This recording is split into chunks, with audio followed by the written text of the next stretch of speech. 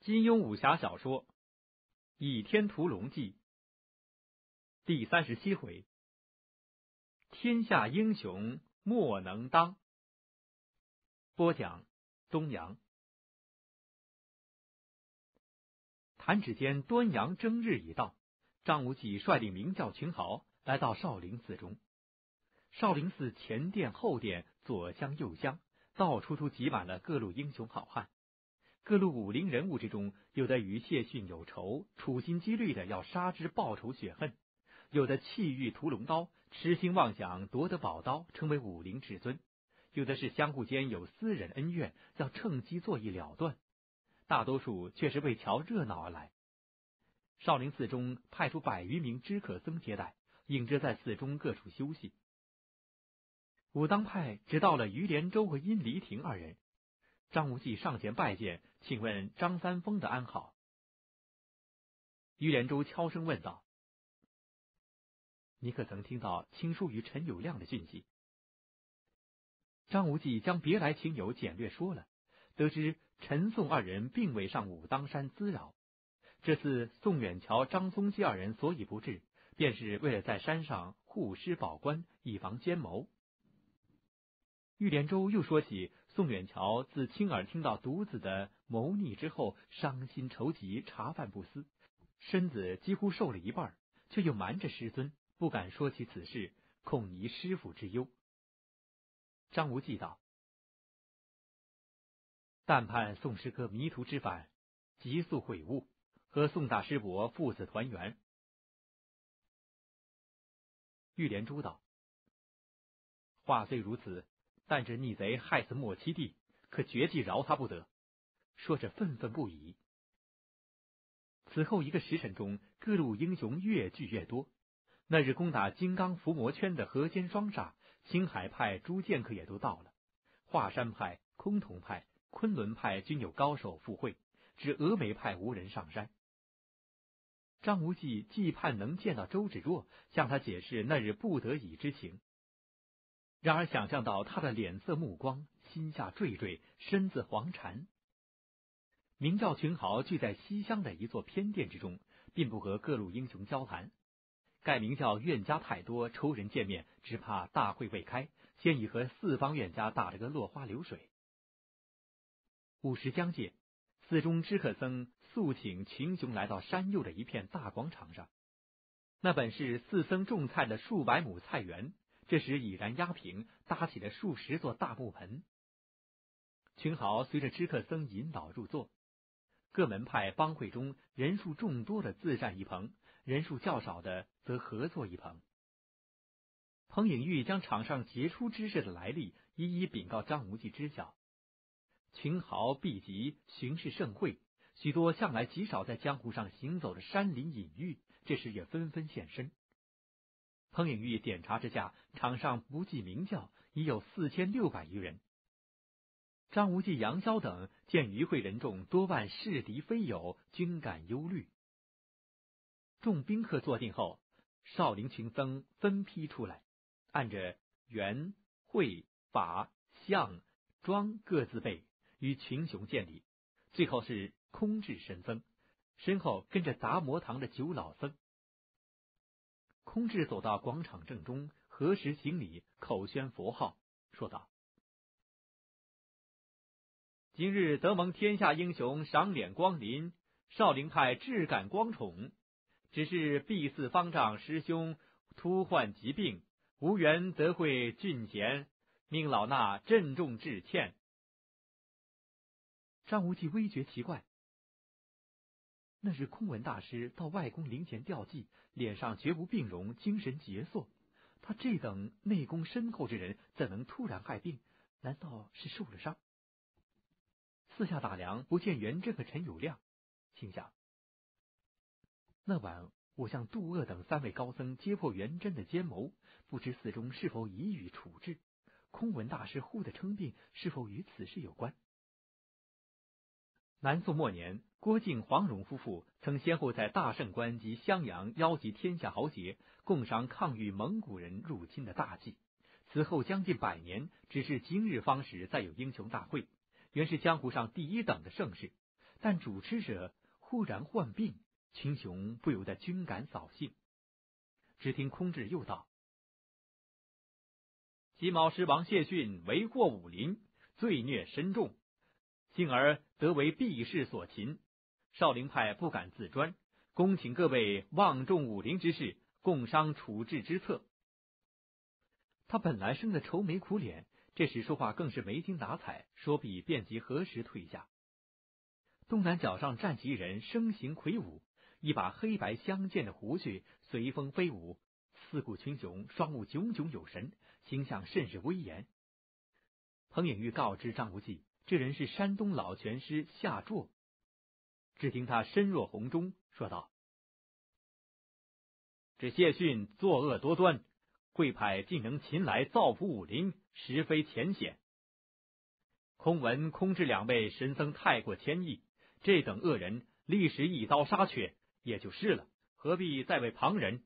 今日即是天下英雄聚会，咱们此会便叫做屠师大会，将这谢逊凌迟处死，每人吃他一口肉，饮他一口血，替无辜死在他手下的朋友们报仇，岂不痛快？他的亲兄长为谢逊所杀，数十年来只是想找谢逊报仇。此言一出，四周便有数百人随声附和。都说及早杀了为是。混乱之中，忽听着一个阴恻恻的声音说道：“谢逊是明教的护教法王，少林派倘若不怕得罪明教，早就一刀将他杀了，何必要大伙儿来此分担罪责？”我说夏大哥啊，你有点老糊涂了。做兄弟的劝你一句，还是明哲保身的为是。这番话说的阴阳怪气，但传在众人耳中仍是清清楚楚。众人齐往声音来处瞧去，却看不见是谁。显然那人身材矮小，说话时又不站起，坐在人丛之中，谁也见他不到。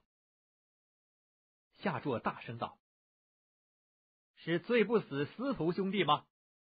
那谢逊与俺有杀兄之仇，大丈夫一人做事一人当，请少林众高僧将他牵将出来。”老夫一刀将他杀了，魔教众魔头找上身来，尽管冲着俺山东姓夏的便是。人丛中那人又是阴恻恻的一笑，说道：“夏大哥，江湖上人人皆知，那把武林至尊的屠龙刀，乃是落在了谢逊手中。少林派既得谢逊，岂有不得宝刀之理？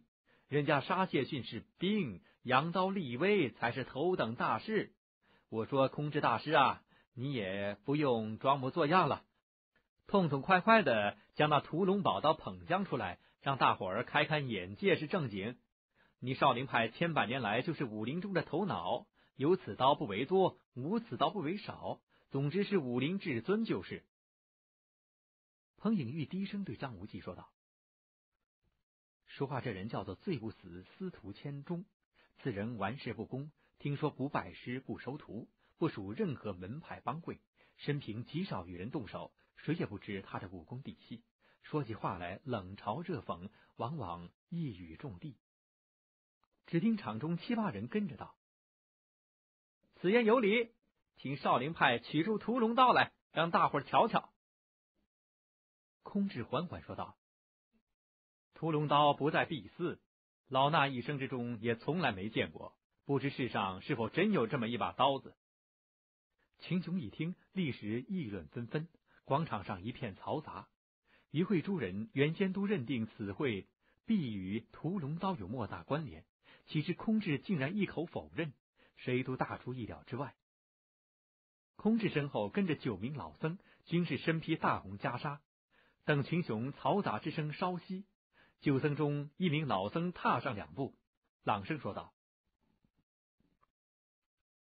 屠龙刀本在谢逊手中，但毕派擒到他之时，那刀却不在他身边。本寺方丈以此乃武林大事，曾详加盘查。谢逊倔强绝傲，坚不吐实。今日英雄盛会，一来是商酌如何处置谢逊，二来是向众家英雄打听那屠龙刀的下落。哪一位得知音讯的，便请明言。秦豪面面相觑，谁都接不上口。最不死司徒千钟，却又阴阳怪气的说道：“武陵中百年来言道：“武陵至尊屠龙宝刀，号令天下莫敢不从。倚天不出，谁与争锋？”除了屠龙刀，尚有倚天剑。这柄倚天剑呢，本来听说是在峨眉派手中，可是西域光明顶一战，却也从此不知所终了。今日此会虽叫英雄大会，峨眉派的英雄们难道就不能来吗？众人听到最后这句话，轰然大笑起来。哄笑声中，一名知客僧大声报道：“丐帮史帮主率领丐帮诸长老、诸弟子到。”张无忌听到“史帮主”三字，心下大喜。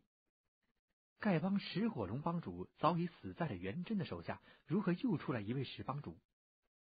空智说道：“有请。”丐帮是江湖上第一大帮，他亲自迎了出去。只见一列人快步向广场走来，约摸一百五十余人，都是衣衫褴褛的汉子。丐帮近年来声势虽已不如往昔，毕竟百足之虫，死而不僵。在江湖上仍有极大的潜力，群雄谁也不敢轻视，大半站了起来。但见当先是两名老年丐者，张无忌认得是传功长老和执法长老。两名老丐身后却是一个十二三岁的丑陋女童，鼻孔朝天，阔口中露出两枚大大的门牙，正是石火龙之女史红石。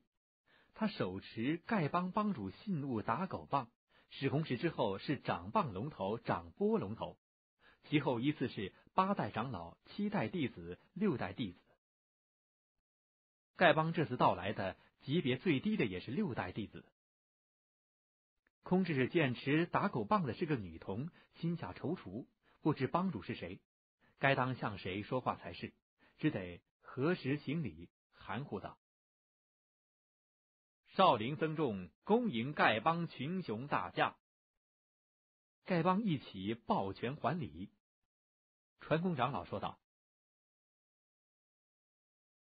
地帮史前帮主不幸归天，众长老公爵立史帮主之女史红石史姑娘为帮主，这一位便是毕帮新帮主。”说着向史红石一指，空智和群雄都是一呆。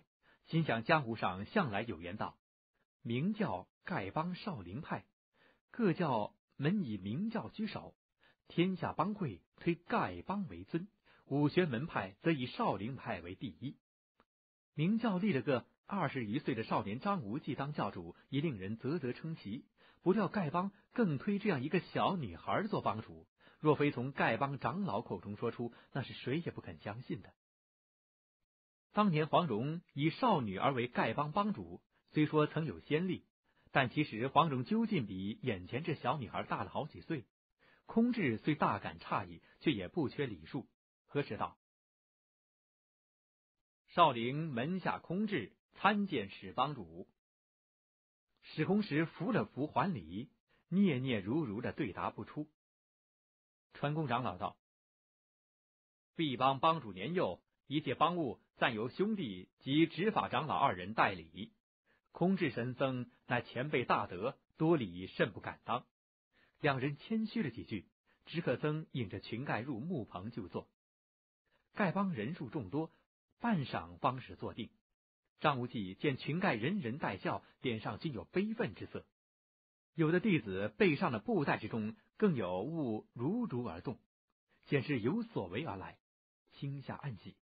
刚跟杨潇说了一句：“咱们到了一批好帮手。”只听传功执法二长老引着史红石来到明教的棚前，传功长老抱拳行礼，说道：“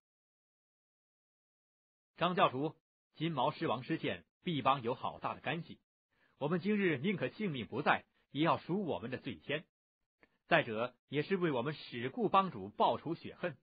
丐帮上下齐听张教主的号令。”张无忌急忙还礼，说道：“不敢。”传功长老这番话中气充沛，说的甚是响亮，显示有意要让广场上人人听见。他几句话说毕，丐帮众弟子一起站起，大声说道：“谨奉明教张教主号令，赴汤蹈火，在所不辞。”群雄都是一愣。丐帮几时跟明教结成了死党了？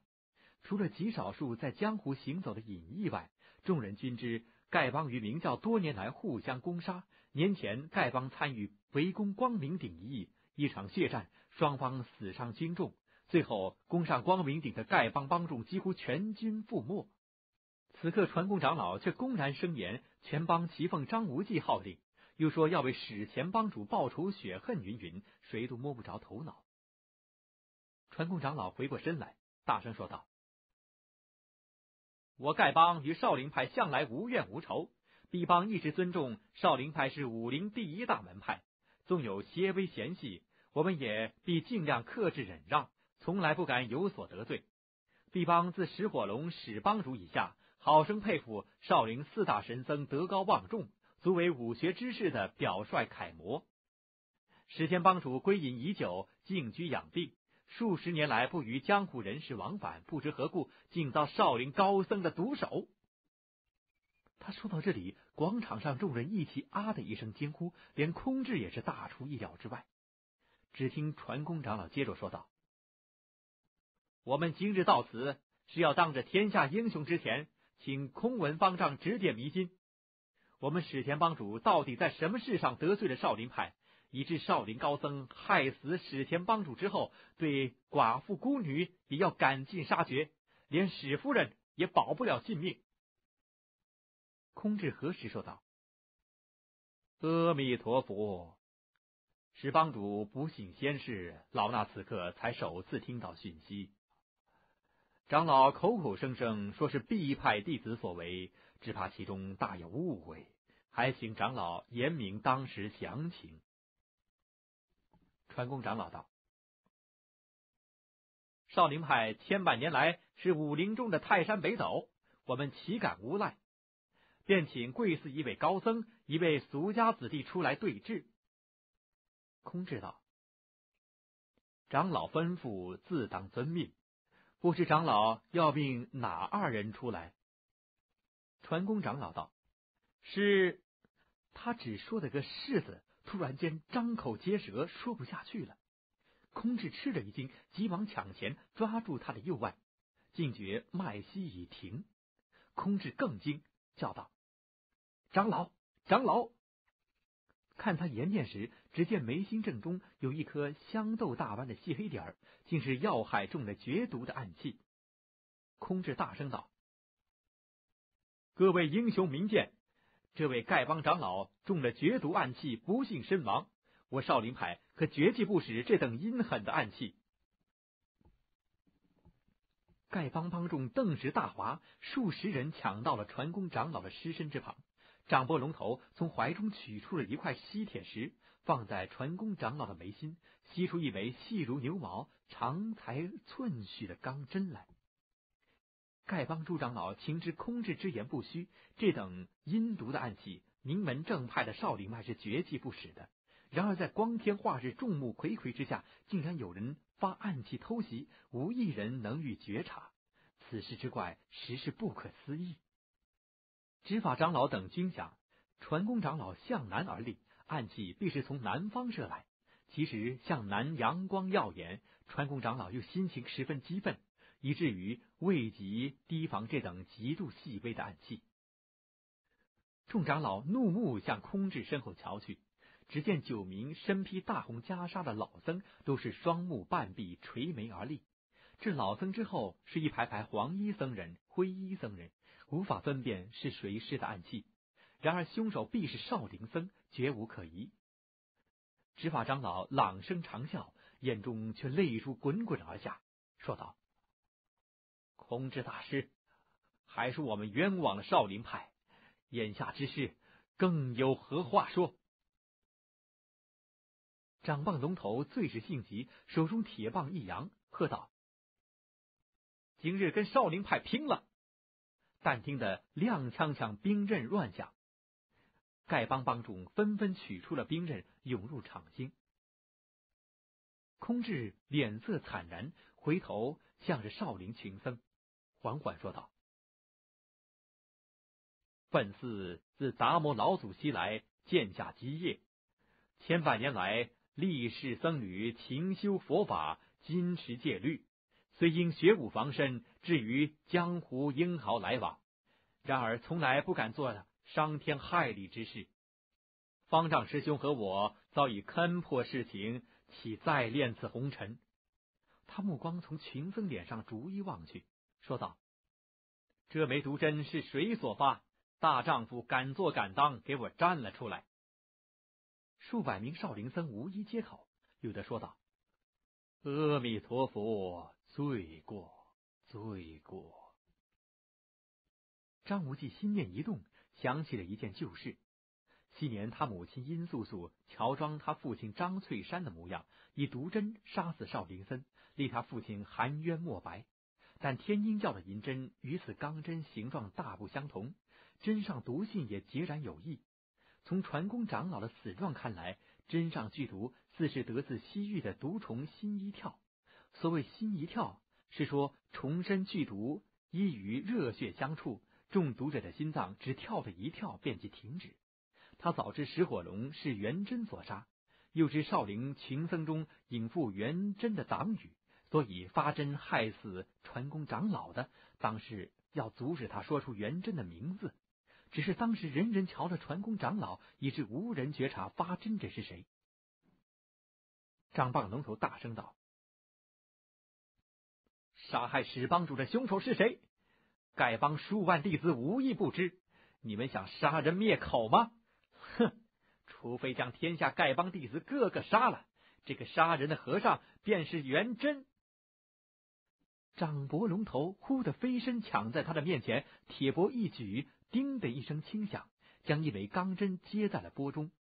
这枚钢针仍不知从何方射来，但掌波龙头一直全神贯注着戒备。阳光下，只见蓝光微一闪烁，便抢上举钵接过。只要稍慢的半步。掌棒龙头便又死于非命。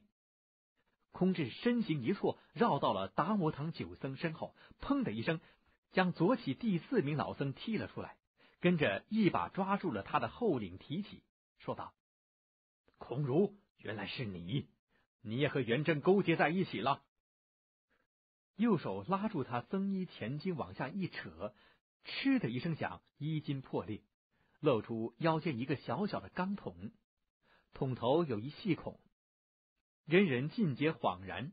这钢桶中自比装有强力弹簧，只需伸手在怀中一摁，捅上即扩，孔中便射出未毒钢针。发射这暗器，不需抬臂挥手，即使二人相对而立，只隔数尺，也看不出对方发射暗器。掌棒龙头悲愤交集，提起铁棒横扫过去，将空如打得脑浆迸裂而死。这空如和四大神僧同辈，辈分武功均高，只因被空智擒住后，拿着脉穴挣扎不得。掌棒龙头铁棒扫来，他竟无法躲闪。群雄又是齐声惊叫。空智一呆，向掌棒龙头怒目而视，心想：你这人特眼鲁莽，也不问个清楚。正混乱间，广场外忽然快步走进四名玄衣女尼，各持拂尘。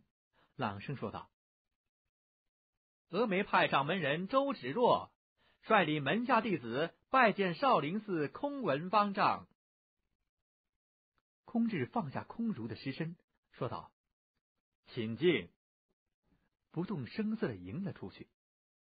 达摩堂剩下的八名老僧仍是跟在他的身后，与适才一幕惨剧，竟如尽皆视而不见，全部萦怀。四名女尼行礼后倒退，转身回出，飘然而来，飘然而去。难的是四个人齐进齐退，宛如一人，脚下更是轻盈飘逸，犹如行云流水，凌波不虚。张无忌听得周芷若到来，更是满脸通红，偷眼向赵敏看去。赵敏也正望着他，二人目光相触。赵敏眼色中似笑非笑，嘴角微斜，似有轻蔑之意。也不知是嘲笑张无忌狼狈失措，还是瞧不起峨眉派的虚张声势。峨眉派众女侠却不同丐帮般自行来到广场，直待空智率同群僧出营，这才列队而进。但见八九十名女弟子一色的玄衣，其中大半是落发的女尼，一小半是老年、中年妙龄女子。女弟子走完，相距丈余，一个秀丽绝俗的青衫女郎缓步而前，正是峨眉派的掌门周芷若。张无忌见她容颜清简，颇见憔悴之色，心下又是怜惜又是惭愧。在周芷若身后相隔数丈，则是二十余名男弟子，身穿玄色长袍，大多彬彬儒雅。不类别派的武林人物那么雄健飞扬，每名男弟子手中都提着一只木盒，或长或短。百余名峨眉人众身上和手中均不带兵刃，兵器显然都藏在了木盒之中。群雄心中暗赞：峨眉派甚是之礼，兵刃不露，那是敬重少林派之意了。张无忌待峨眉派众人坐定，走到木棚之前，向周芷若长倚到地，含羞带愧说道：“周子子，张无忌请罪来了。”峨眉派十余名女弟子霍地站起，个个柳眉倒竖，满脸怒色。周芷若万福回礼，说道：“不敢，张教主何须多礼？别来安好。”脸色平静，也不知他是喜是怒。张无忌心下整重不定，说道：“芷若，那日我为了急于相救义父，置物大礼，心下好生过意不去呀。”周芷若道：“听说谢老爷子失陷在少林寺中，张教主英雄盖世，想必已经救出来了。”张无忌脸上一红，说道。少林派众高僧武功深湛，明教已输了一仗。我外公不信因此先逝。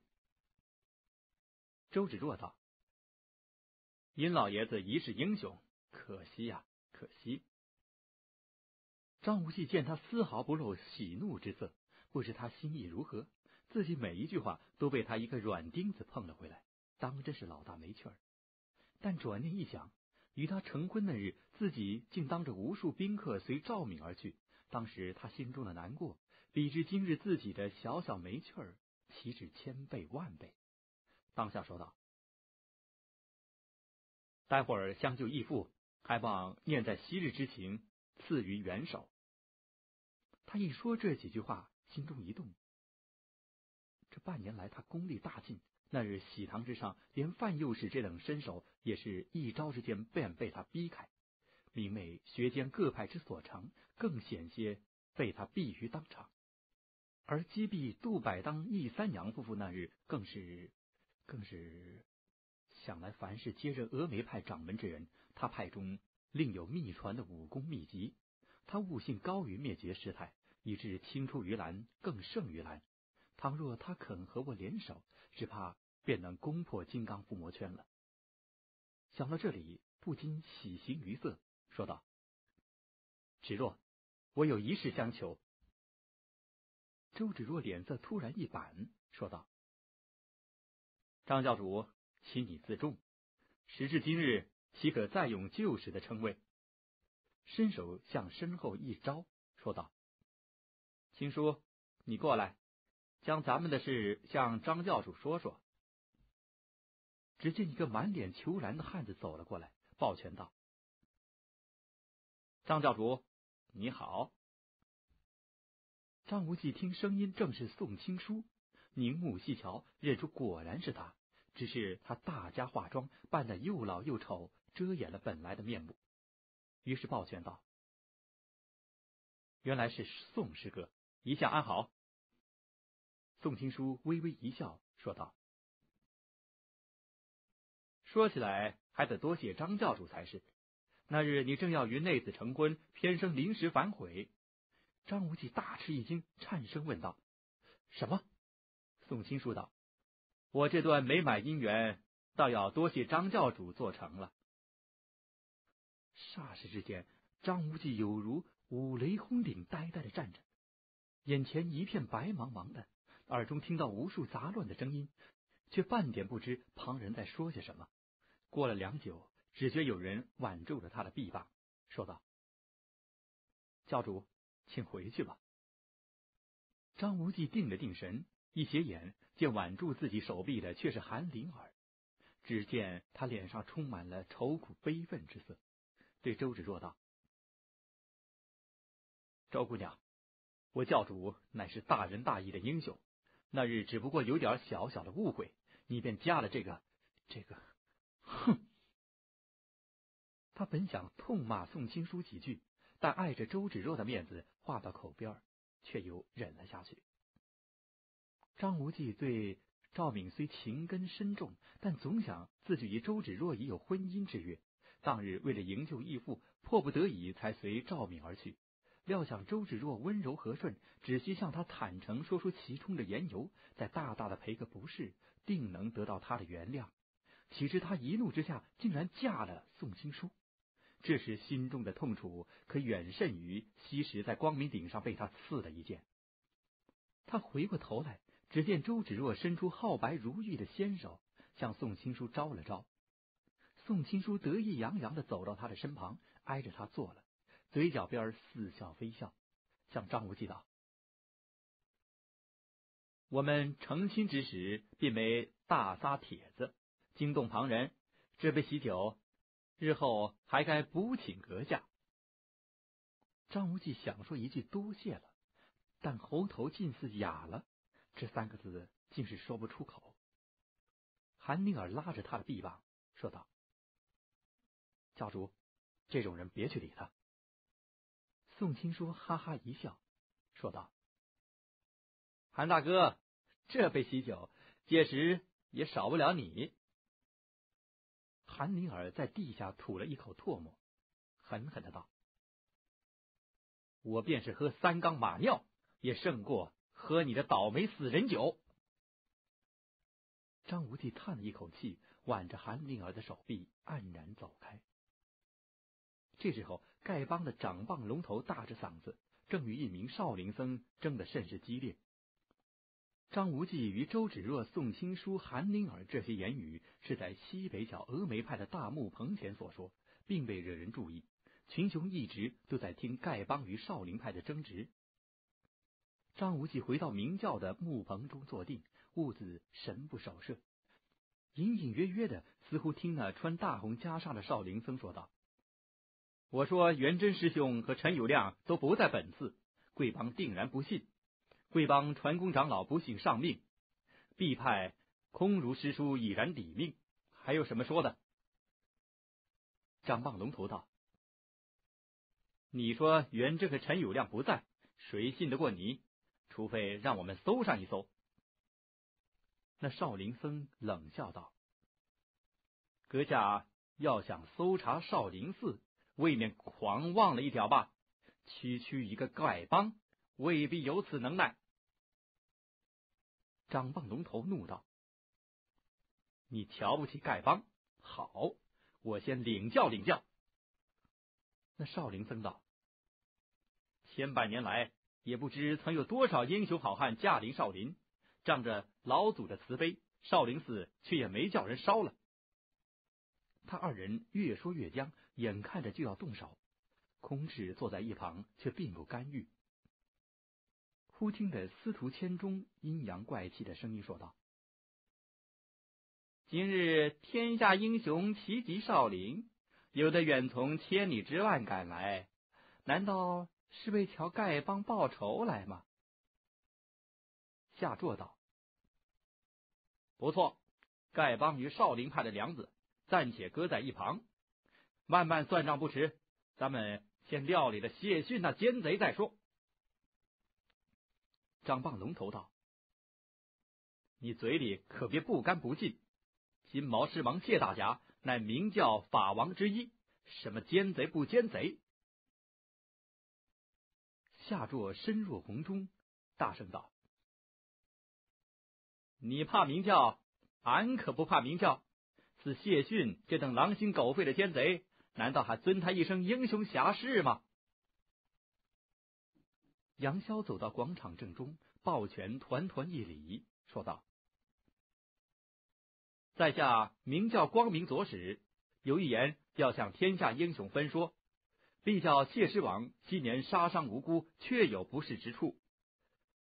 下座道：“哼人都给他杀了，凭你轻描淡写的几句话，便能令死人复生吗？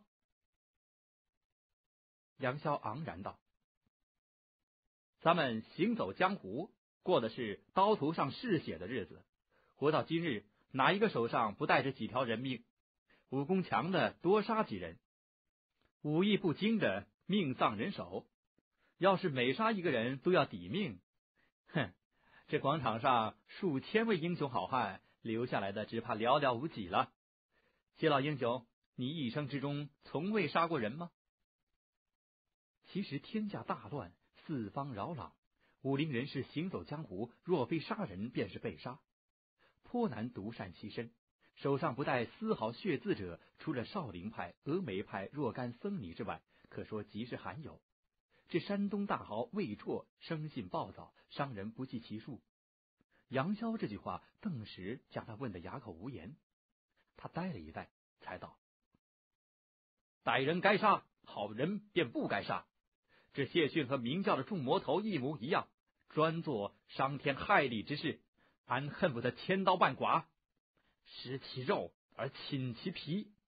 哼，姓杨的，俺瞧你也不是好东西。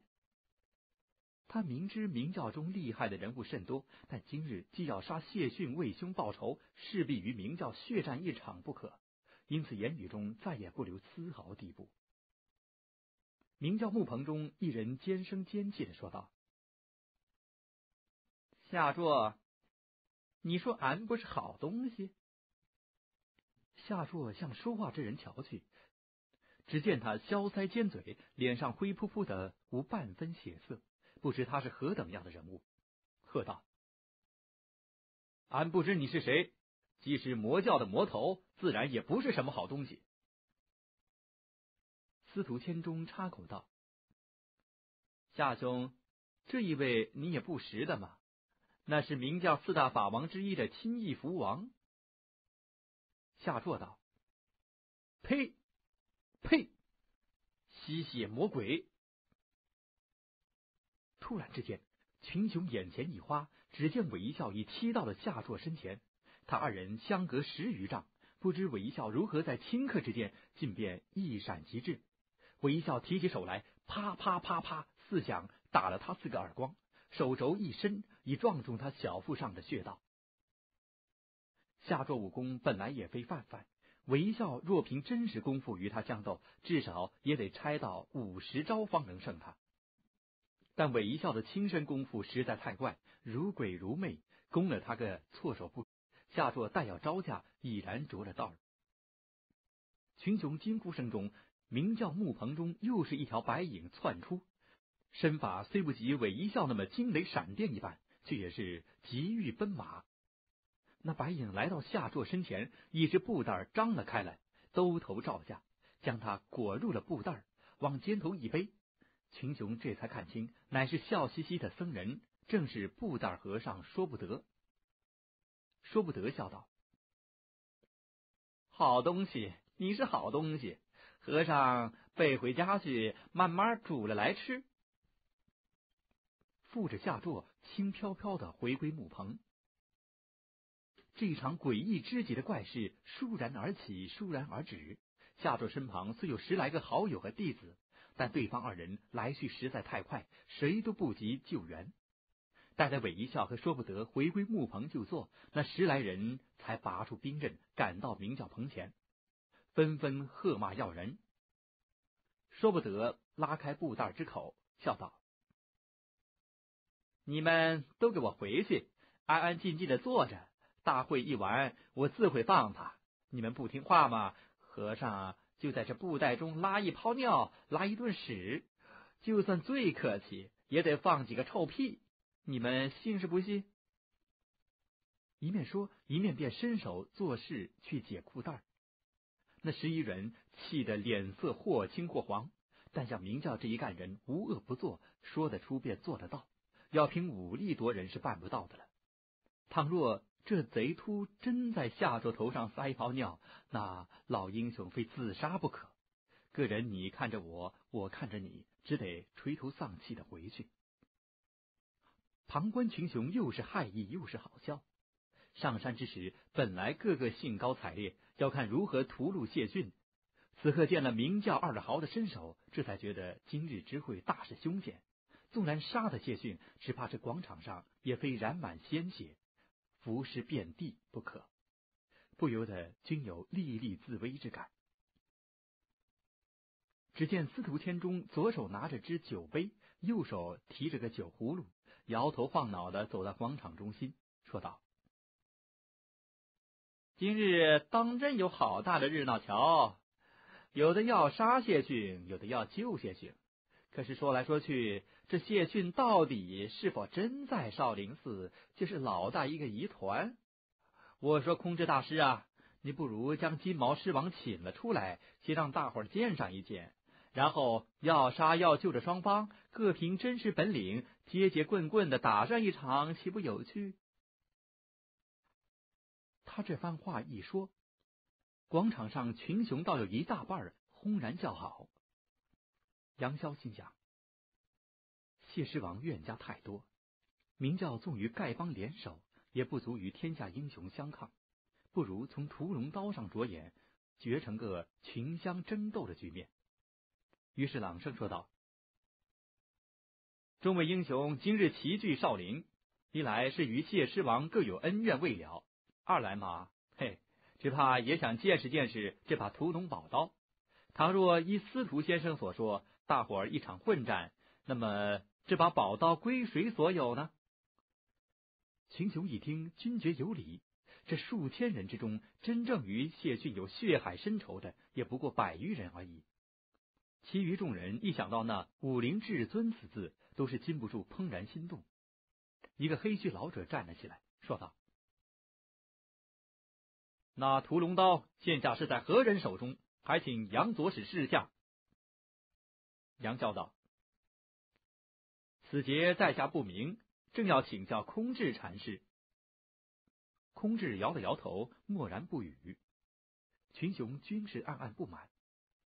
少林派是大会主人，但空闻方丈临时装病不出，这空智禅师却又是一副不死不活的神气，不知在弄什么玄虚。一个身穿青葛长袍的中年汉子站起身来说道：“空智禅师虽说不知，谢师王必定知道的。咱们请他出来问他一问，然后各凭手底玩意儿见真章，谁的武功天下第一？”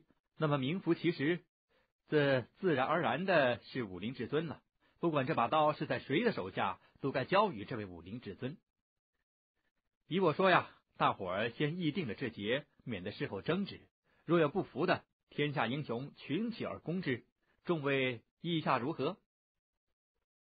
张无忌认得这说话之人，正是那晚围攻金刚伏魔圈的青海派三高手之一。司徒千中道。那不是打擂台吗？我瞧有点大大的不妥。那青袍汉子冷然道：“有何不妥？以阁下之见，不比武，倒要比酒量了。哪一个千中不醉，哪一个醉而不死，便是武林至尊了。”众人轰然大笑。有人怪声说道：“这还比个什么？这位武林至尊嘛，自然是醉不死司徒先生了。”司徒千中携过葫芦，倒了一杯酒，仰脖子喝了，一本正经的说：“不敢，不敢。要说到九灵至尊，我醉不死，或许还有三分指望。至于武林至尊呐，恰恰哈哈，不敢当啊，不敢当。”对那青袍汉子道：“阁下即提此意，武学上自有超凡入圣的造诣，在下眼拙。”却不知阁下尊姓大名。那汉子冷冷的道：“在下是青海派的叶长青，喝酒本事和装丑角的玩意儿都不及阁下。”言下之意，自是说武功上的修为，只怕要比阁下强的多了。司徒仙中侧头想了半晌，说道：“青海派，没听见过。叶长青，嗯。”嗯，也没听见过。众人暗想：这司徒老儿好大胆子，侮辱叶长青一人那也罢了，他竟敢侮辱青海一派，难道他身后有什么强大的靠山？还是跟青海派有何解不开的仇怨？单凭这两句话，青海派只怕立时便要出手。只有深知司徒千中平素为人的，才知他孤身一人，并无靠山，跟青海派也没什么梁子，只是生性狂妄，喜欢口舌招尤。虽然一生曾因此而吃过了不少苦头，但始终改不了这个脾气。叶长青心中杀机已起，脸上却不动声色，说道。青海派与叶某原本寂寂无名，难怪阁下不知。阁下既说比武之意不妥，比灌黄汤嘛，阁下又是喝遍天下无敌手，那便如何是好？倒要请教你。司徒千中道：“要说喝遍天下无敌手，此事谈何容易？当真谈何容易？想当年我在济南府，正要唠唠叨叨的说下去。”人丛中有人喝道：“罪不死，别在这儿发酒疯了！大伙儿还没空听你胡说八道。”又有人说：“到底谢逊的是怎样？屠龙刀的是怎样？”另有人道：“空智禅师，你是今日英雄大会的主人，叫咱们这么干耗着，算是怎么一回事了？”众人你一言我一语，都是催司徒千中别再啰嗦，要空智拿一句言语出来。这些人在人丛中纷纷呼喝，或远或近，声音来自四面八方。司徒千中道：“江陵府黑风寨的石老大，你不用心急。你的黑沙掌虽然厉害，未必便打遍天下无敌手。鄱阳湖的水底金鳌侯兄弟。”那谢师王的武功水陆俱能，你别气他不会水底功夫，何况人家还有一位紫山龙王没出面，嘿嘿，鳌鱼岂是龙王之比呀？青阳山的吴三郎，你是用剑的，便是夺到屠龙刀，你又不会使，瞎起个什么劲儿？这人说话疯疯癫癫，却另有过人之能，相识既广，耳音又是绝佳。从一片嘈杂的人声之中，居然将一个个说话之人指名道姓的叫了出来，无一有误。群雄见他显了这身功夫，却也忍不住喝彩。空智身后，一名老僧站起身来说道：“少林派忝为主人，不巧方丈突患重病，盛会主持无人，道长各位见笑了。”谢逊和屠龙刀二世，其实一而二，二而一，尽可合并办理。以老衲之见，适才青海派这位叶施主说的甚是有理。与会群雄英才济济，只需个人露上一手，最后哪一位一压当场，谢逊归他处置，屠龙刀也由他执掌，群雄归心，岂不是好啊？张无忌问彭颖玉：“这僧人是谁？”彭颖玉摇头道：“属下不知。这僧人并未参与围攻光明顶之役，也没曾被郡主娘娘擒入万安寺中。可是他一再抢在空智大师的前头说话，似乎在事中位置不低呀。”赵敏低声道：“这人十九是元贞一党，我猜想空文方丈已落在了元贞手中。”空智大师受了这群叛徒的挟制，以致萎靡气举。张无忌心中一灵，问道：“彭大师以为如何？”彭颖玉道：“郡主的猜测颇有道理，只是少林寺中高手如云，元贞竟敢公然犯上作乱，胆子也特大了。”张无忌道：“元贞布置已久。”第一次想瓦解本教，第二次意图控制丐帮，两次奸谋均是功败垂成。这一次，我想他是要做少林寺的掌门方丈。赵敏道：“单是做掌门方丈也还不够。”张无忌道：“少林派是武林中的第一大派，做到掌门方丈已是登峰造极，可不能再提高了。”赵明道：“武林至尊呢？不是更高于少林派的掌门方丈吗？”张无忌一呆，道：“他想做武林至尊。”赵明道：“无忌哥哥，周子子嫁了旁人，你神魂不定，什么事也不会想了。”张无忌被他说中了心事，脸上一红，心道：“张无忌啊，你不可只管顾念儿女私情，将今日营救义父的大事搁在一旁。”定了定神，心想元贞深谋远虑，今日这英雄大会也正是他一力促成的，其中定有奸谋，便道：“敏妹，你猜元贞有何诡计啊？”赵敏道。元贞此人急功心计，智谋百出。周颠一直在旁听着他二人低声说话，终于忍不住插口道：“郡主娘娘，你也是急功心计，智谋百出，我看不输于元贞。”赵敏笑道：“过奖了。”周颠道：“不是过奖。”彭颖玉道：“颠兄，你别打断郡主的话。”周颠怒道：“你先别打断我的话。”彭颖玉笑了笑，不再说话，直到跟他再纠缠下去，真上一两个时辰也不稀奇，还是趁早收口的干净。周店道：“你怎么不说话了？”彭颖玉道：“你叫我别打断你的话，我就不打断你的话。”周店道。可是你已经打断过了，彭景玉道：“那你再接下去说就是了。”周颠道：“我忘了，说不下去了。”赵敏笑了笑，说道：“我想元贞若是单想做少林寺方丈，不必请天下英雄来此。谢大侠既已落入他的手中，何必又要叫群雄比武争夺？”无忌哥哥，说到武功之强，只怕当今之事无人及得上你。此节元贞不会不知，他绝不能这般好心安排下群雄大会，让你气胜群雄，成为武林至尊，然后将谢大侠和屠刀献上给你。张无忌、彭颖玉、周颠三人一起点头，问道：“你猜他有何诡计？”这时杨逍已走到了张无忌的身旁，插口道。我也一直在想，元贞这厮奸谋定是不小。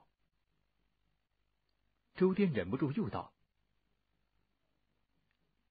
元贞是本教的大对头，郡主娘娘，以前你也是本教的大对头。元贞这厮诡计百出，郡主娘娘，你也是诡计百出，你两个倒有点差不多。”杨逍喝道：“又来疯疯癫癫的瞎说了。”赵敏微微一笑，说道：“周先生之言倒也有理。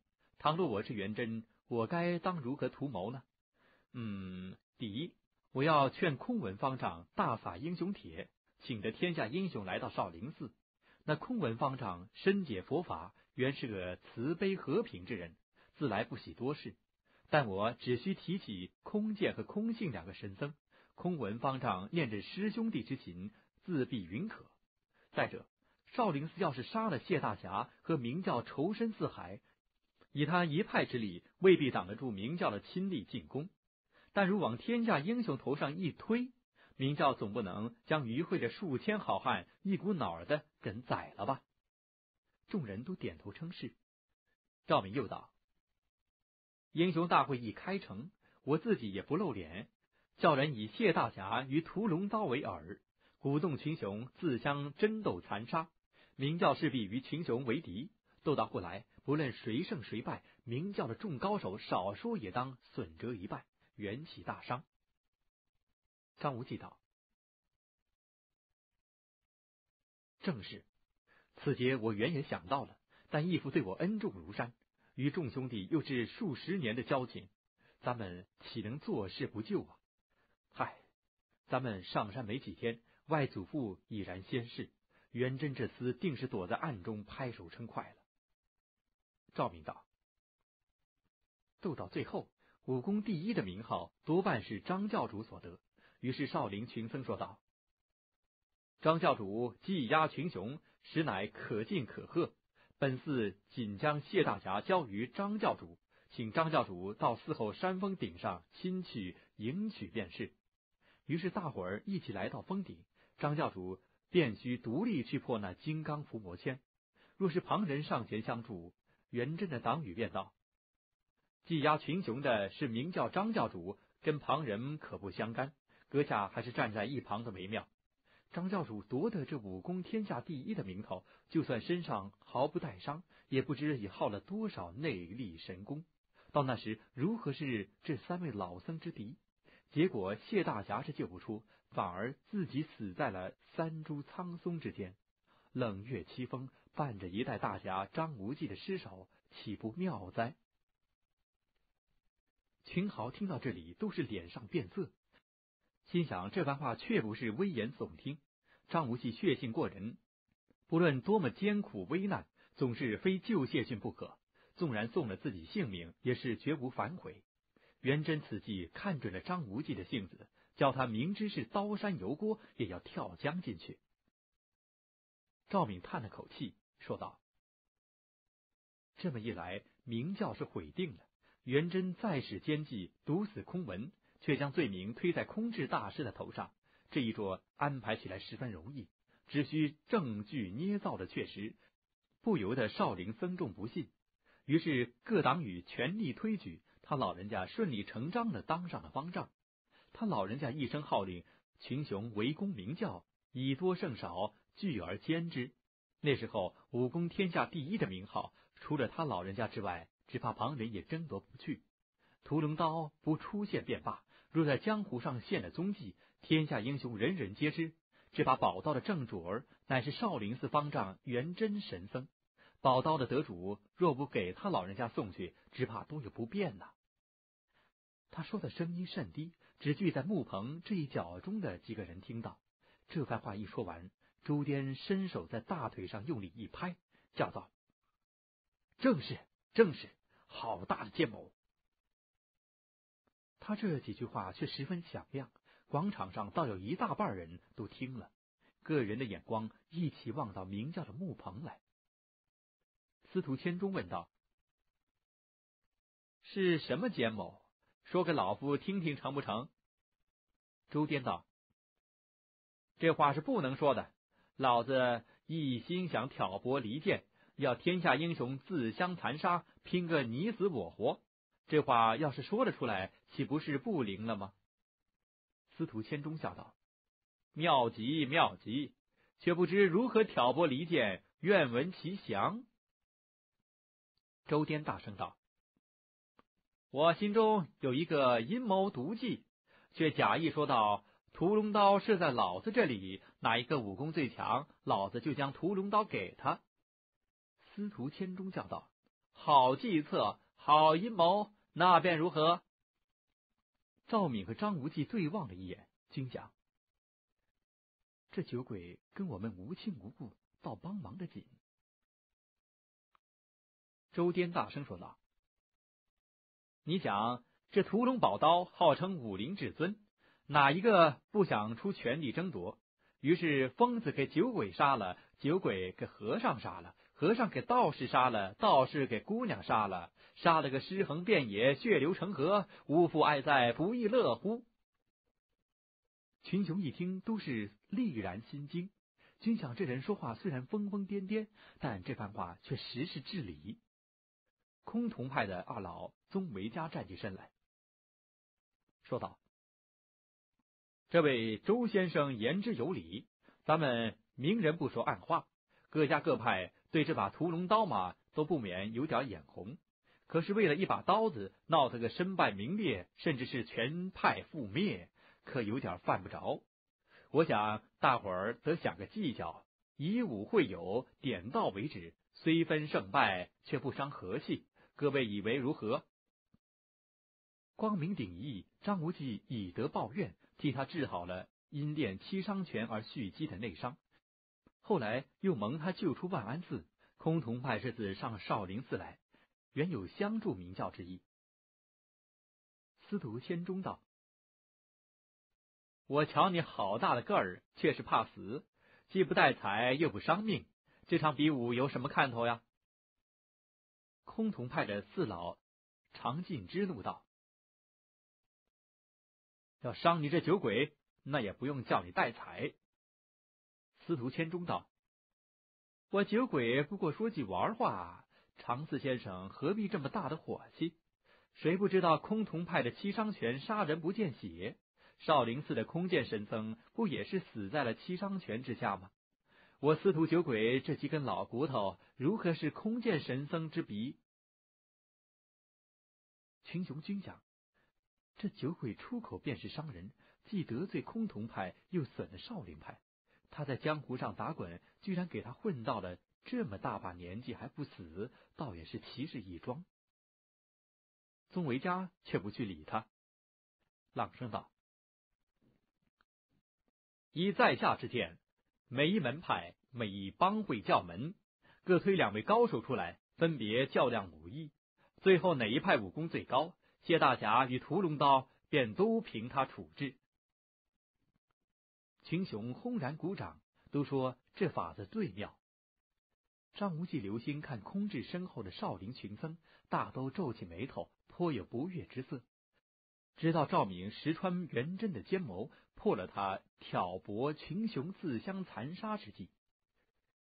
一个白面微须的中年汉子站起身来，手摇描金折扇，神情甚是潇洒，说道：“在下。”深觉宗二甲此意甚是。咱们比武较量之时，虽说点到为止，但兵刃拳脚上不生眼睛，若有失手，那也是各安天命。同门同派的师友可不许出来挑战报复，否则纠缠不清，势必斗个没有了局。群雄都道：“不错，正该如此。”司徒千中尖着嗓子说道。这一位兄台好英俊的人物，说话又是哈声哈气的，想必是湘南衡阳府的欧阳兄台了。那人折扇摇了两摇，笑道：“不敢，正是区区。你捧我一句，再损我一句，刚好抵过。”司徒千中道：“欧阳兄和我好像都是孤魂野鬼，不属什么帮会门派。”我好酒，你好色，咱哥俩创一个酒色派。咱们酒色派两大高手并肩子齐上，会一会天下众高手如何？秦雄哈哈大笑，觉得这司徒千中不住的插科打诨，逗人乐子，使会场平添了不少笑声，减却了不少暗中潜伏着戾气。彭颖玉向张无忌说道。这白脸的汉子名叫欧阳牧之，一共娶了十二名姬妾。他武功虽强，却极少闯荡江湖，整日家以红微翠，享那温柔之乐。欧阳牧之笑道：“若跟你联手组派，我这副身价可不够你喝酒。各位，说到比武教义，咱们可得推举几位年高德少。”众望所归的前辈出来做公证才是，以免你说你赢，我说我赢，争执个不休吧。司徒千中笑道：“输赢自己不知道吗？谁似你这般胡赖不要脸？”宗维嘉道：“还是推举几位公证人的好。少林派是主人，空智大师自然是一位了。”司徒千中。指着说不得的布袋道：“我推举山东大侠谢绰老英雄。”说不得提起布袋，向司徒千中掷了过去，笑道：“公证人来了。”司徒千中抛下葫芦酒杯，抱住布袋，便去解布袋上的绳子。不料说不得打绳结的本事另有一功。那捆缚袋口的绳子又是金丝混合鱼漂所缠成，司徒千中用尽力气，始终无法解开。说不得哈哈大笑，纵身而前，左手提起布袋拿到自己背后，右手接着，十根手指扭了几扭，又提到身前。就是这么在身前身后兜了个圈子，布袋上的绳结已然松开。他倒转袋子一抖，下帚滚了出来。司徒千中忙伸手解了他的穴道。下帚在黑漆一团的袋中闷了半天，突然间阳光耀眼，又见广场上成千对眼睛一起望着自己，不由得羞惭欲死，翻身拔出身边的短剑，便往自己的胸口插了下去。司徒千中假手夺过，笑道：“胜败乃兵家常事，谢大哥何必如此心着？”人丛中一个矮矮胖胖的汉子大声说道：“这位布袋中的大侠，只怕没资格做公证人。我推举长白山的孙老爷子。”又有一个中年妇人说道：“这宗双翼威震江南。”他兄弟俩正直无私，正好做公证人。群雄你一言我一语，霎时之间推举了十余人出来，均是江湖上颇具声望的豪杰。突然，峨眉派中的一个老尼冷冷的道：“推举什么公证人？压根儿便用不着。”他话声并不十分响亮，但清清楚楚的钻入了个人的耳中，显然内力修为颇是了得。司徒千中笑道：“请教这位师太，何以不用公证人？”那老尼道：“二人相斗，活的是赢，死的便输。阎王爷是公证人。”众人听着这几句冷森森的话，背上均感到一片凉意。司徒千中道：“咱们以武会友，又无深仇大怨。”何必动手便判生死？出家人慈悲为本，这位师太之言也不怕佛祖真怪吗？那老尼冷冷道：“你跟旁人说话胡言乱语，在峨眉弟子跟前，可得给我规矩些。”司徒千中拾起葫芦酒杯，斟了一杯酒，笑道：“哦，好厉害的峨眉派！”常言道：“好男不与女斗，好酒鬼不与尼姑道。”举起酒杯放到唇边，突然间嗖嗖两响，破空之声极强，两枚小小念珠急射而至，一枚打中酒杯，一枚打中葫芦，跟着又是一枚射至，正中他的胸口。只听得砰砰砰三声巨响，三枚念珠炸了开来，葫芦酒杯顿时粉碎。司徒千中的胸口炸了个大洞，他身子被炸了一撞，向后甩出数丈，全身衣服立时着火。下作上前扑打，只见司徒千中已然气绝，脸上兀自带着笑意。可见那三枚念珠飞射爆炸之速，司徒千中直到临死，丝毫没想到大祸已然临头。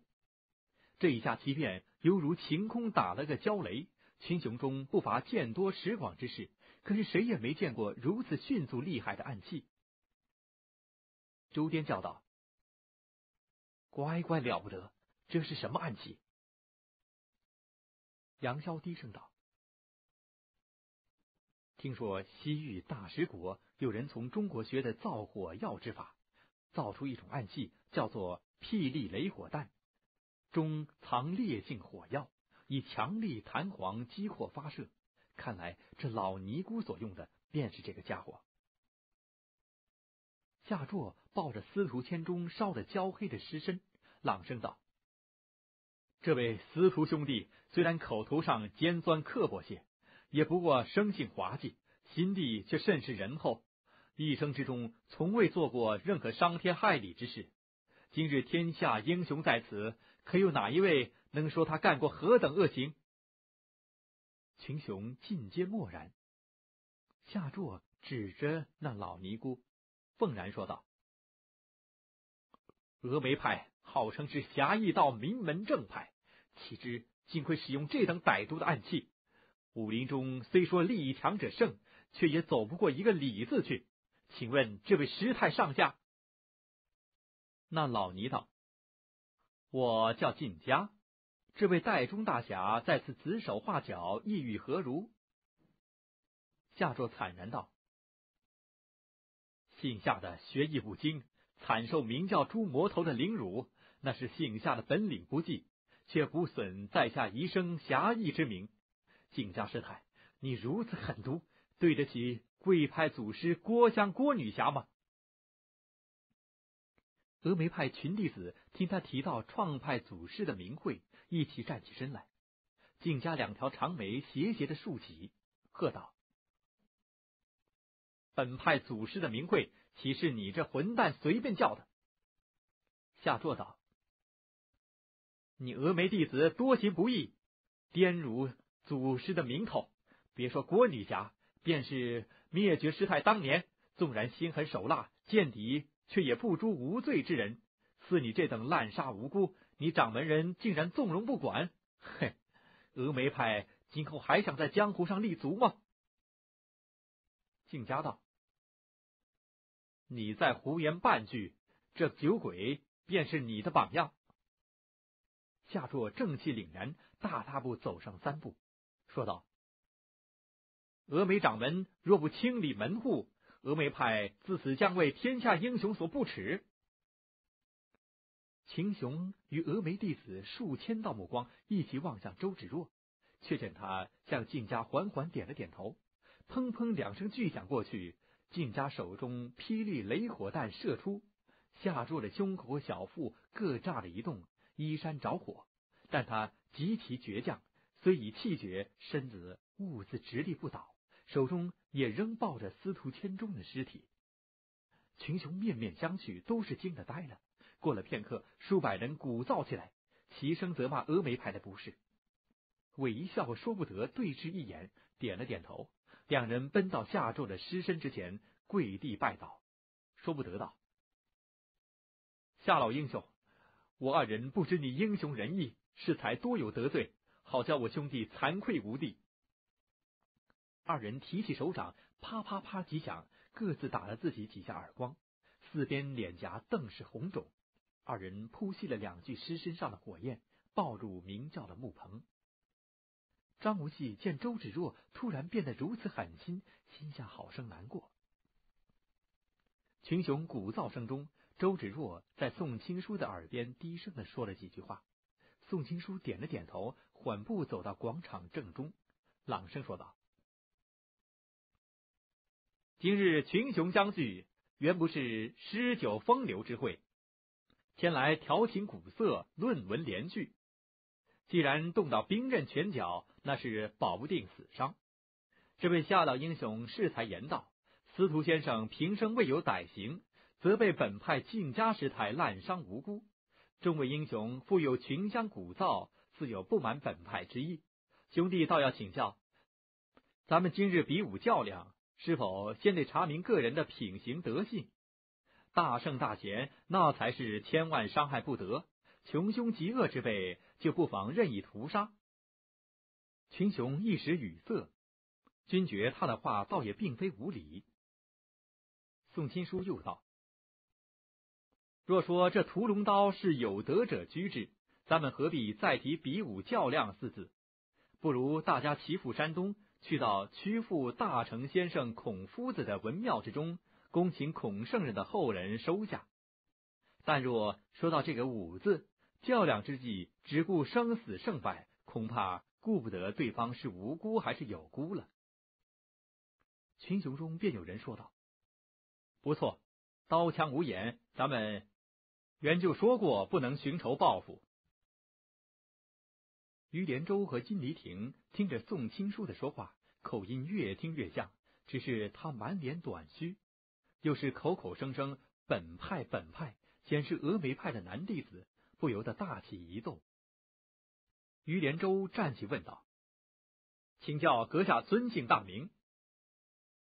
宋青书见到二师叔，急危之下不禁有些害怕，滞了一滞，才道：“无名后辈。”不劳于二侠下问。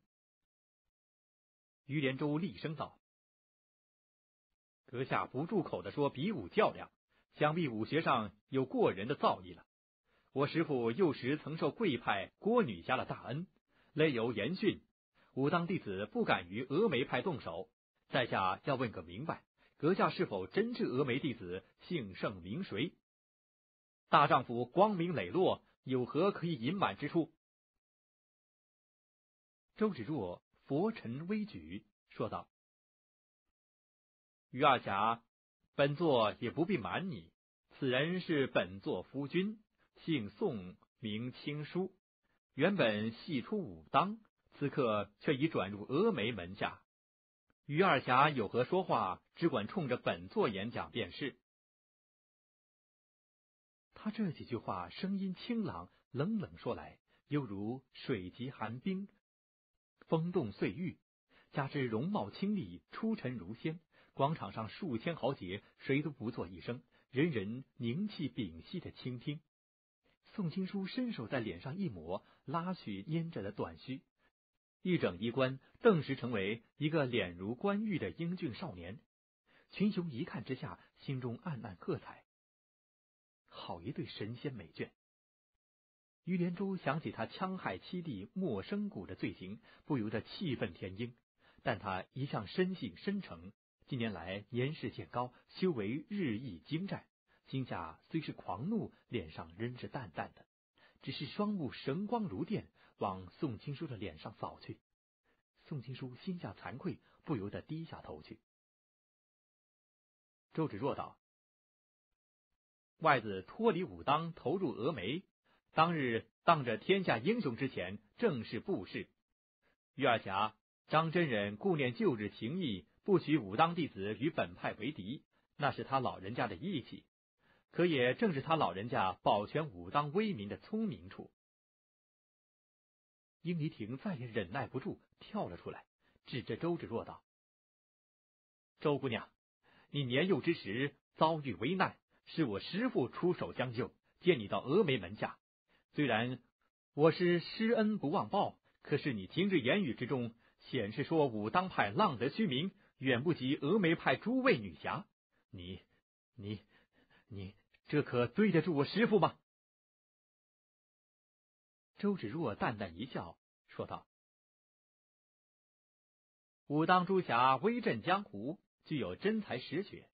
宋大侠更是我的公公，本座岂敢说各位浪得虚名？”至于武当、峨眉两派各有所学，各有所传，也难说谁高谁低。昔年本派郭师祖有恩于张真人，张真人后来有恩于本座，那就两相抵过，咱们谁也不欠谁的恩情。于二侠、殷六侠，武当弟子不得与峨眉派动手的规矩，咱们就此免了吧。广场四周各处木棚之中，群雄窃窃私议。都说这个年轻掌门人好大的口气，听他言中之意，似乎峨眉派拿得定能胜过武当派。于二侠内功外功俱已登峰造极，当今之事极少有人是他的敌手。难道峨眉派单凭一件厉害歹毒的暗器便想独霸江湖吗？殷离亭心中激动，想到七弟莫生谷惨死，忍不住流下泪来，叫道。青叔，青叔，你你何以害死你你七叔？说到七叔两字，突然间放声大哭。群雄面面相觑，好不奇怪。武当殷六侠多大的声名，竟会当众大哭？于连州走上前去，挽住殷离亭的右臂，朗声说道：“天下英雄听着，武当不幸。”出了宋青书这叛逆弟子，在下七弟莫生谷便给这叛徒。突然间，嗖嗖两响，破空声甚厉，两枚霹雳雷火弹向玉莲州的胸口急射过去。张无忌大叫一声：“哎呦！”但要扑将上去抢救，但那雷火弹来的实在太快，说到便到。他事先又丝毫没想到峨眉派竟会蓦然偷袭，他身法再快，也已不及赶到。这一下，玉莲州也是颇出意外。倘若侧身急劈，那雷火弹飞将过去，势必伤了不少丐帮的弟子。他想，这雷火弹是对付自己而来，为的是要杀人灭口。以免当众暴露宋青书犯上叛父的罪行。要是自己闪生避难，不免害死无辜。他这么心念如电的一闪，两枚雷火弹已先后射到。玉莲州双掌一翻，使出太极拳中一招云手，双掌揉到了极处，空明若虚，将两枚霹雳雷火弹射来的极近，尽数化去，轻轻的托在掌心。只见他双掌向天，平托胸前，两枚雷火弹在他掌心快速无伦的滴溜溜乱转。秦雄一齐站起，数千道目光齐集在他的两只手心。每个人的心似乎都停了跳动，生怕这两枚活物一般的雷火弹随时都会炸浆开来。这太极拳中的柔劲，乃天下武学中至柔的功夫。真所谓一羽不能加，蝇虫不能落，由拈而虚，随屈就伸，以耄耋欲纵之形，而致英雄所向无敌。于连州近年来勤修苦练，已生得张三丰的真传。适才见到司徒千钟和夏作先后在此弹下丧命，直到此弹触物即炸，厉害无比，无可奈何之中，只得冒险以平生绝学一挡。果然柔能克刚，两枚雷火弹被他掌心的柔劲制住，就似钻入了一片稠黏之物中间一般，只是急速旋转却不爆炸。只听着嗖嗖两响。峨眉派中又有两枚雷火弹向他掷来，殷离亭站在师兄身旁，当即双掌一扬，迎着雷火弹接去。待得手掌与雷火弹将触未触之际，使出太极拳中的揽雀尾式，将雷火弹轻轻的拢住，脚下金鸡独立式，左足着地，右足悬空，全身急转，犹似一枚陀螺。他精于剑术。太极拳上造诣不如师兄深厚，眼见玉莲州接那两枚雷火弹颇为吃力，自己掌力只要稍稍有半分用的实了，那歹毒暗器立时便会爆炸。是以全身急转，双掌虚带雷火弹在空中一圈圈的转动，以化去掷来的功力。玉莲州掌心化劲，殷离亭则是空中化劲，在武功上是稍逊半筹，但一眼望去。却是他急速的转身的手法好看的多。他转到三十一转时，四面八方彩声雷动，雷火弹劲力也已衰竭。岂知嗖嗖声响，又是八枚雷火弹掷了过来。玉莲州与殷离亭齐声暴喝，各将手中的雷火弹掷将出去。武当弟子练有一项接气打气的绝技，接到敌人的暗器之后，反掷出去，能以一打二，以二击三。他二人掷出四枚雷火弹，互相撞击，将对面八枚雷火弹一起击中。广场上砰砰之声震耳欲聋，黑烟弥漫，鼻中闻到的竟是消防火药之气。余英二人掷出雷火弹后，立即纵身后跃，退至十余丈外，以防峨眉派再接再厉，将雷火弹层出不穷的掷将过来，终究难以抵挡。秦雄见到这雷火弹如此厉害，无不骇然，心想：当时除了武当派这两位高手之外，只怕没几个能接得住了。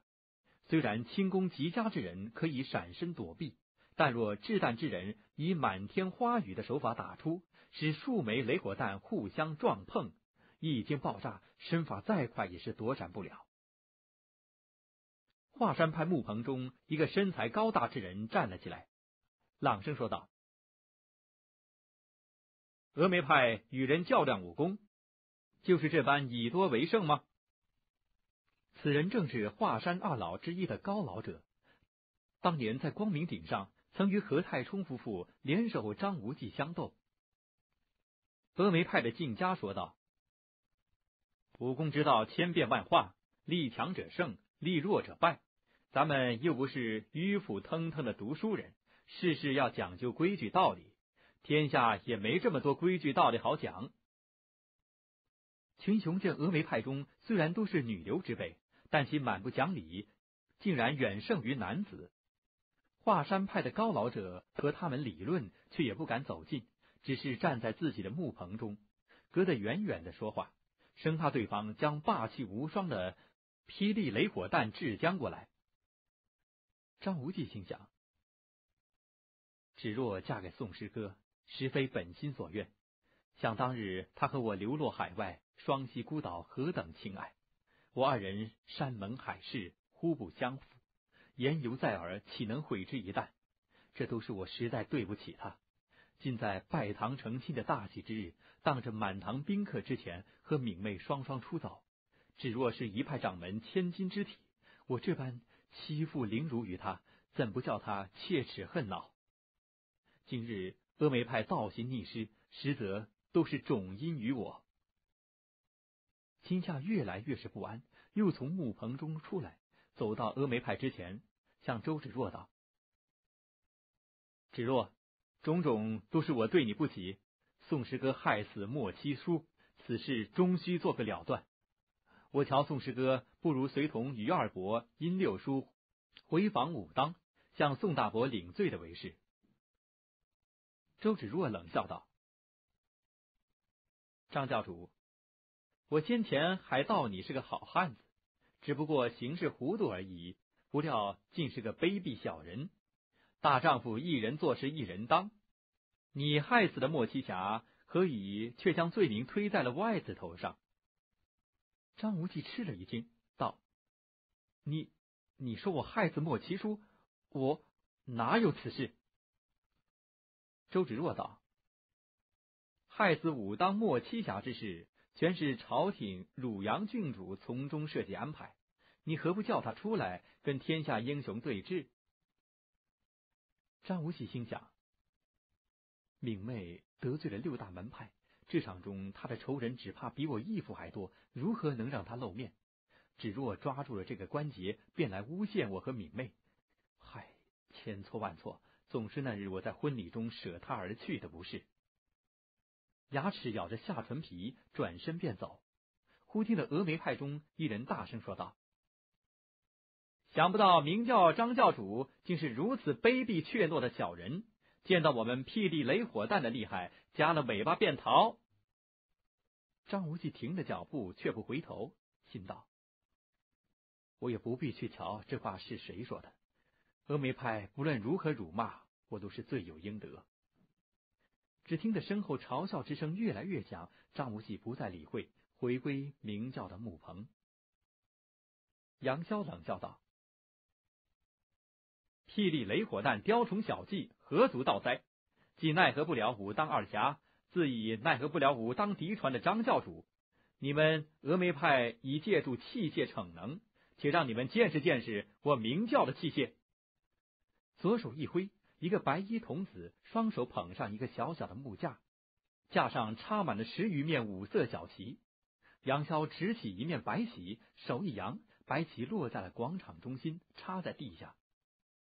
群雄见到白旗连杆不到二尺，旗上绣着个明教的火焰记号，不知他闹什么玄虚。便在此时，杨潇身后一人挥出一枚火箭，急身上天，在半空中散出一道白烟。只听得脚步声响，一队头裹白巾的明教教众奔进广场，共是五百人，每人弯弓搭箭，嗖嗖声响，五百支长箭整整齐齐的插在了白旗周围。排成一个圆圈，正是吴敬曹统帅下的瑞金旗人众。群雄未及喝彩，瑞金旗教众已拔出背后的标枪，抢上十几步，挥手掷出，五百支标枪一起插在了箭圈之内。众人跟着又抢上十数步，拔出腰间的短斧。群雄眼前光芒闪动，五百柄短斧呼啸而前，砍在地下，排成一圈。短斧、标枪、长剑，三班兵刃围成三个圈子，各不相混。任你武功通天，在这一千五百件长短兵刃的夹击之下，霎时间变成肉泥。原来瑞金旗当年在西域与峨眉派一场恶战，折损极重，连长旗使庄征也死在了灭绝师太的倚天剑下。其后痛定思痛，排了这个无坚不摧的阵势出来。近年来，明教声势大盛，五行旗各旗相应扩充。瑞金旗下教众已有两万余人。这五百名投枪、制斧、射箭之士，乃是从两万余人中精选出来的剑者。武功本来已有相当的根底，再在名师指点下练得年余，已成为一支可上战阵、可做单斗的劲旅。秦雄相顾失色，军将。名叫杨左使，这支白色小旗掷向何处，这一千五百件兵刃便跟着投向何处。峨眉派的霹雳雷火弹再厉害，伤人终究有限。掷出十枚，就算每一枚都打中，也不过伤得十人，如何是名叫瑞金旗之比？又想，倘若明教突然反脸，将我们拒而歼之，那便如何？今日聚会的英雄好坏，虽然个个武功高强，却是一批乌合之众。可比不了明教的瑞金之师，习练已久，指挥下得心应手。秦雄心下惴惴不安，竟没对瑞金旗显示的精妙功夫喝彩。杨逍举起一面白旗，向身后挥了几下，瑞金旗五百名教众拔起羽箭枪斧，奔到了明教木棚之前，躬身向张无忌行礼，随即反身奔出广场。杨逍一面轻骑掷出，插在白旗之旁。只听得广场旁脚步声沉重，五百名巨木旗教众轻步包头，每十个人抬一根巨木，快步奔来。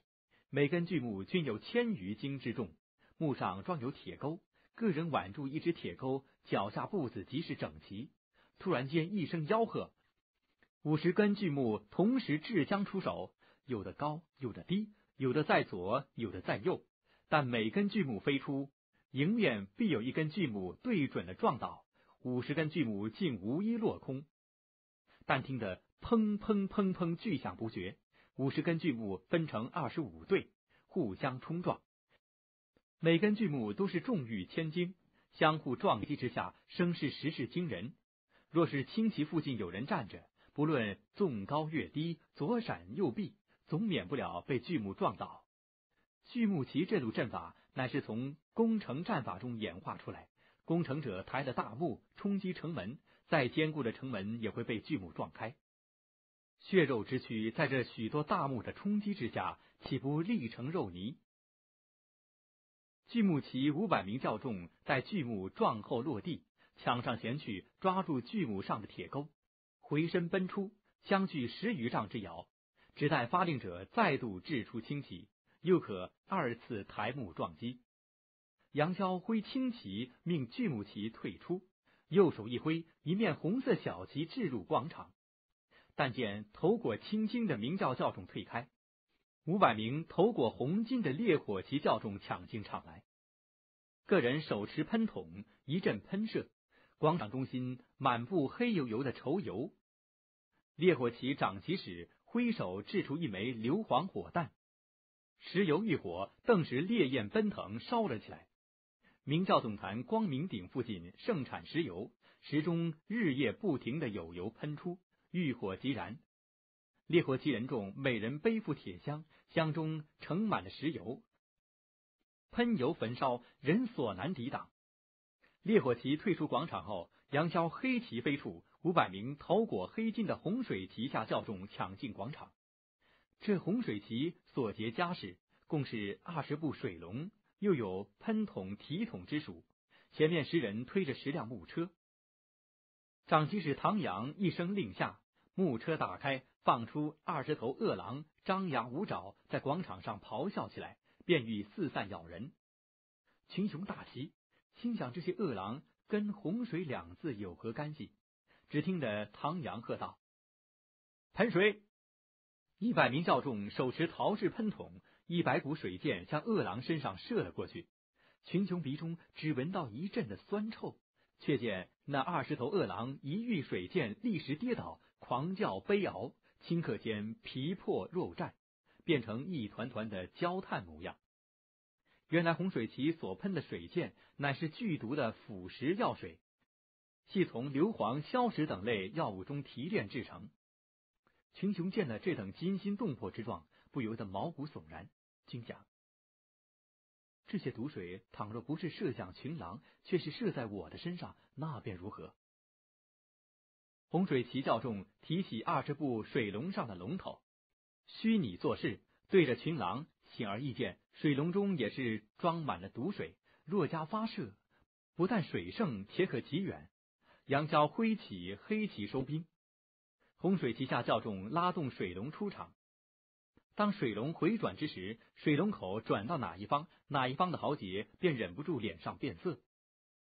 只见杨逍掷出一面小小黄旗，一群头裹黄金的明教教徒走进广场，个人手持铁铲，推着一车车泥沙石灰，人数却比金木水火四旗少得多，只有一百人。这一百人围成一个圈子，同时举铲往地下猛击。突然间，轰的一声大响，尘土飞扬，广场中心陷落，露出一个径长三四丈的大洞。跟着大洞四周泥土纷纷跳出，钻出一个个头戴铁盔、手持铁铲的汉子来。四百名大汉蓦地从地里钻出，群雄都是大吃一惊，齐声惊叫。原来这四百名教众早就从远处打了地道，钻到了广场中心的地里，挖掘大洞。以木板、木条撑住，藏身其间。后土旗长旗士圆圆发出号令，四百名教众同时抽开木条，整块地面便陷了下去。地底教众跟着破土而出。这一来，狼尸、石油、焦土等物一起落入了地底。一百名教众挥动铁铲，在大洞上空虚击三下。倘若有人跌入洞中，想要跃上逃命，势必被这一百柄铁铲击了下去。跟着一车车石灰、铁砂、石子倒入洞中，片刻间便将大洞和数百个小洞填平。五百柄铁铲此起彼落，好看以极。长旗使一声令下，五百教众齐向张无忌行礼。那广场中心添了铁砂石灰，平滑如镜，比先前更是坚硬的多。秦雄心中明白。倘若我站在广场中心，口出辱骂明教之言，此刻只怕早已被活埋在地底了。这一来，明教五行旗大显神威，小家操练，旁观群雄无不骇然失色。个人均知，近年来明教在怀寺、豫鄂诸地造反，攻城略地，连败援军。现下他们是将兵法战阵之学用于武林豪士间的群殴。人数极众，布勒又严，加之习练有素，天下任何江湖门派莫能与抗。杨潇收兵以后，将插着小旗的木架交于身后童子，冷冷的瞧着周芷若，一言不发。但这无言之意却是十分的清楚。听你峨眉派百余名男女弟子，能是我明教数千之众的敌手吗？广场上群雄个人怀着个人的心事。一时间寂静无声。过了好一会儿，空至身后，一名老僧站起身来说道：“适才明教操演行军打仗的阵法，模样倒是好看，但到底管不管用，能不能克敌制胜？咱们不是元帅将军，学的也不是孙吴兵法，只怕谁也说不上来。”众人均知他这几句话乃是违心之论。只不过煞一煞明教的威风，将五行旗的厉害轻轻一言带过。周颠叫道：“要知管不管用，那也容易的很。少林寺派些大和尚出来试上一试，利剑分晓。”那老僧置之不理，继续说自己的话：“今天是天下英雄之会，各门各派志在观摩切磋武学上的修为。”还是照先前几位施主们所言，大家较量武功，艺高者为胜。咱们讲究的是单打独斗。说到以多为胜，武林中没听说有这个规矩。欧阳木知道，以多为胜，武林中却没这个规矩。然则霹雳雷火弹、毒火毒水这些玩意儿，许不许用啊？那老僧微一沉吟，说道。下场比试的要用暗器，那是可以的。有些朋友喜欢在暗器上加些毒药、毒水，那也无法禁止。但若旁人偷袭，却是坏了大会的规矩。大伙儿须得群起而攻之。众位意下如何？群雄中一大半轰然叫好，都说该当如此。崆峒派唐文亮道：“在下另有一言。”不论何人连胜两阵之后，便需下场休息，以便恢复内力元气。否则，车轮战的干僵起来，任你通天本事，也不能一口气从头胜到尾。再者，各门各派、各帮各会之中，如已有二人败阵，不得再派人上场。否则的话，咱们这里数千英雄，每个人都出手打上一架，只怕三个月也打不完。少林寺粮草再丰，可也得给大伙儿给吃喝穷了，一百年元气难复。众人哄笑声中，均说这两条规矩有理。明教秦豪，均知唐文亮感激张无忌当年在光明顶上接骨、万安寺中救命的恩德，有心盼他得胜，独冠群雄，是以提出这两条规矩，都是有意在帮他节省力气。彭颖玉笑道：“唐老三倒失了大体，看来崆峒派今日帮咱们是帮定了。咱们除了教主之外。”另有哪一位出场啊？明教众高手谁都跃跃欲试，只是君知这件事担当极其重大，须得竭尽全力，先将与会的英雄打扮一大半，留给教主的强敌越少越好，这才能保留力气以尽全功。倘若只剩的寥寥数人，便被人打败，留下一副重担给教主独挑，自己损着威名事小，负累了本教谢逊和教主却是事大。再者，若是贸然请缨，不免自以为除教主外，本人武功最强，伤了同教间的义气，是以谁都莫不出声。周颠道：“教主，我周颠不是怕死，只不过武功够不上顶尖儿，出去突然献丑。”张无忌一个个瞧过去，心想：杨左使、范右使、韦福王、布袋师傅。铁关道人诸位各负绝艺，均可去的。其中范右使武学最博，不论对手是何家术，他都有取胜之道。还是请范右使出马的为是。便道：本来各位兄弟任谁去都是一样，但杨左使曾随我攻打金刚伏魔圈，韦福王与布袋大师曾生擒下柞，都已出过力气。这一次。本座想请范右使出手。范瑶大喜，躬身道：“遵命，多谢教主看重。”明教群雄素知范瑶武功了得，均无一言。赵敏却道：“范大师，我求你一件事，你肯答允否？”范瑶道：“郡主但有所命，自当遵从。”赵敏道。少林派的空智大师与你的梁子未解，倘若你跟他先斗了上来，胜败之术未易逆料。纵然胜得了他，那也是筋疲力尽的了。范瑶点了点头，心知空智神僧成名数十年，看上去愁眉苦脸，一副短命夭折之相，其实内功外功俱争上乘。赵敏道：“你不妨去和他定个约会。”言明日后再到大都万安寺去单打独斗，一决胜负。杨逍和范瑶齐声道：“妙计，妙计！”君知空智与范瑶一定约后，今日便不能动手。照明此计，实是给明教去了一个强敌。其实各处木棚之中，各门派帮会的群雄正是交头接耳，推举本派出战的人选。